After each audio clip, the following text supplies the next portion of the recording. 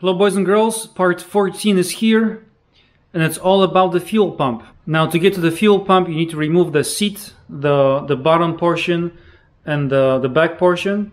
The, the bottom portion has two bolts on the bottom from the side kind of where you keep your uh, under your legs. They're actually pretty visible. I think they are 12 mil. Now the back seat or the rear seat, whatever, you need to remove three bolts and you're going to see those once you remove the bottom part. Then the rear slides up and away. Very easy. So I got to remove the fuel pump assembly. I'm going to put on the table. You're going to see me replace the filter and the actual fuel pump that comes with the kit. The Walbro 255. So guys, as always, like, subscribe, comment, do me a favor, click the subscribe button. It's, it's right there. It's going to take you a second. I'll wait. You got it? All right. Thank you. Enjoy the video and I'll see you soon.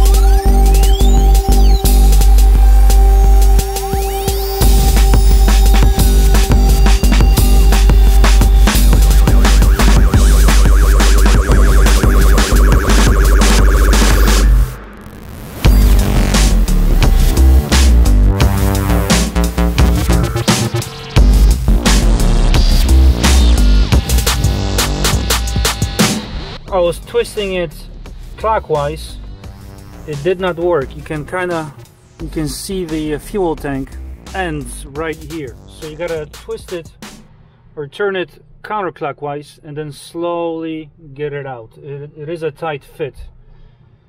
I thought I had to remove the uh, the float but I didn't have to. Uh, you saw me use compressed air uh, brake cleaner everything. Make sure this area once you get this plate off do a good job of cleaning up this whole area here. Compressed air is best. When you take these clips off, put them back on into the inside the fuel lines. That's how they install back. Clean tank. I don't see any corrosion. I mean, you're gonna get some stuff in there. Don't don't worry about it. The uh, the fuel filter will catch it's almost impossible not to get anything inside. Anyways this bracket was kind of an issue too. Just uh, push it back as far as you can. And if this is somewhat soft and you see no visible cracks on the seal you can reuse it. I'm just I'm gonna clean it up and oil it up a little bit and reuse it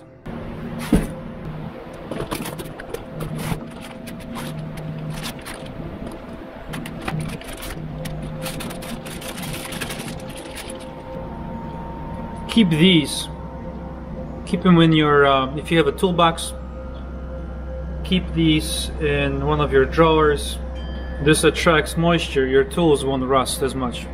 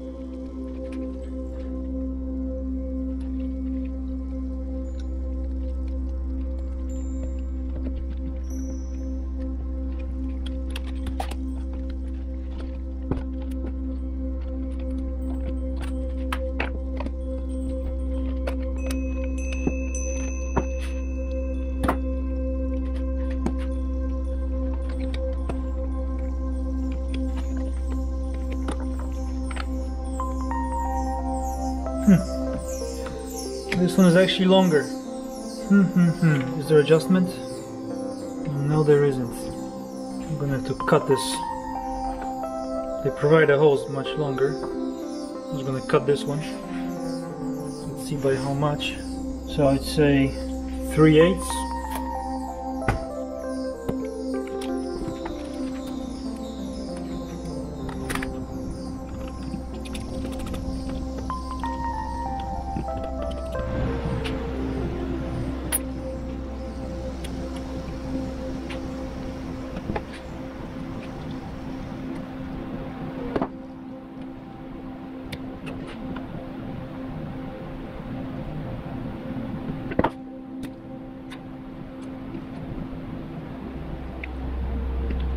That's interesting.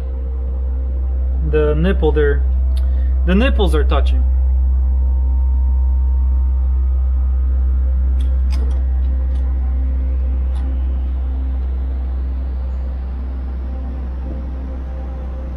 That's a problem.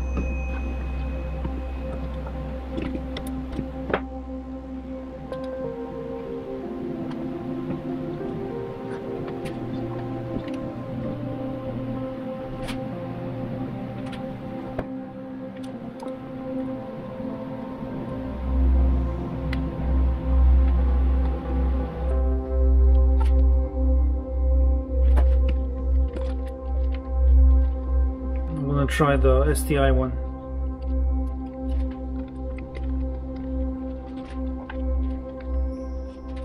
So that might work actually. I don't want to force it in now. But now this hose is too short.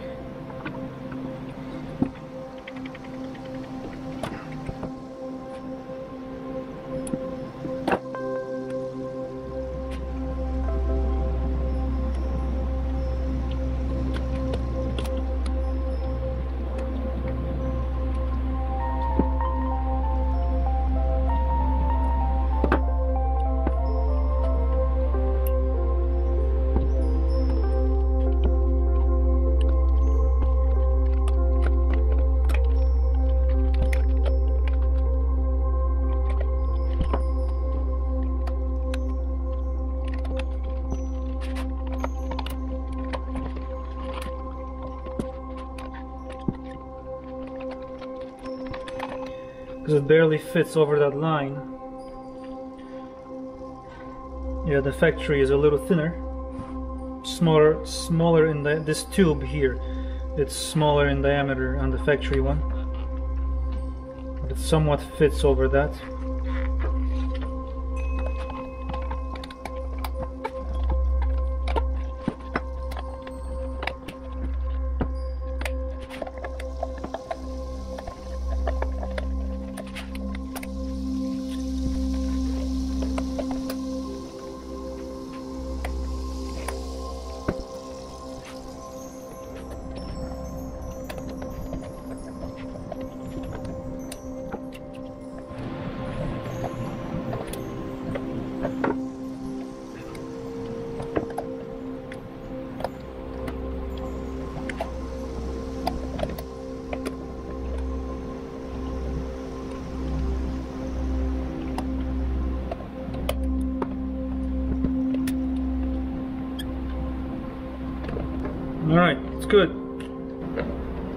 the filter was so close to this side of the of this box that I actually pinched it when putting this back together. So careful of that.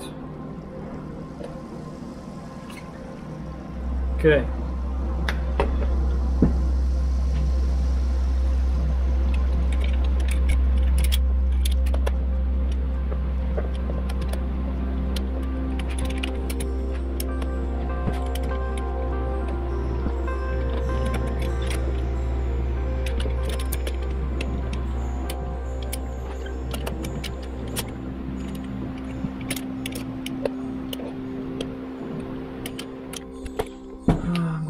This off.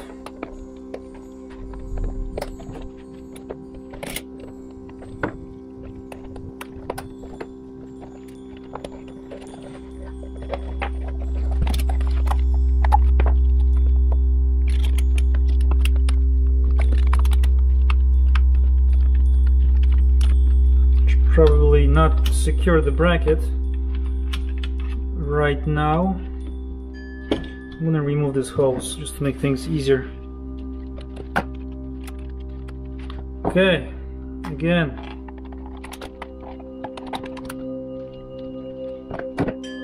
Just gonna cut these off here.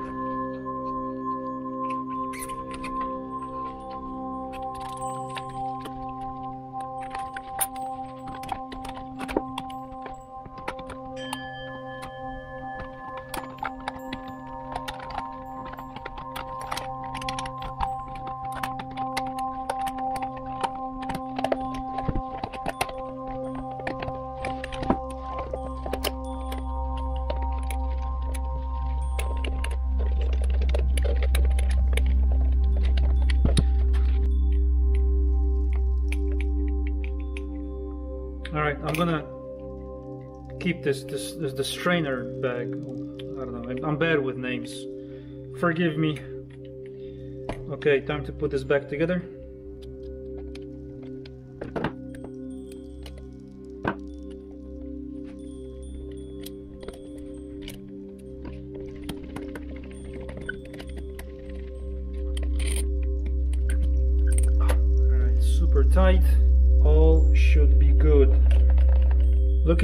Back into the tank.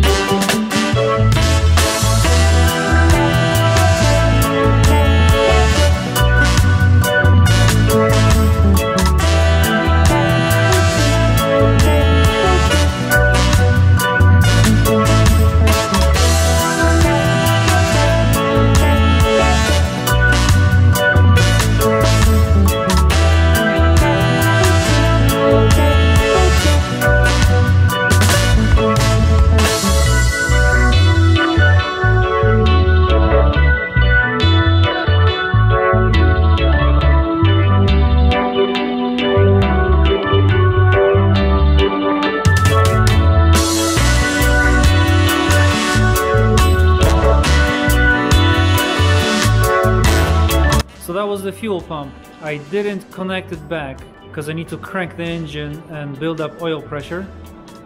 So you can either disconnect your ignition uh, fuse, which I'll show you in a second. Ignition, ignition. I would think it would be this one, your ignition fuse, which would be the 15 amp. This one here, the blue one.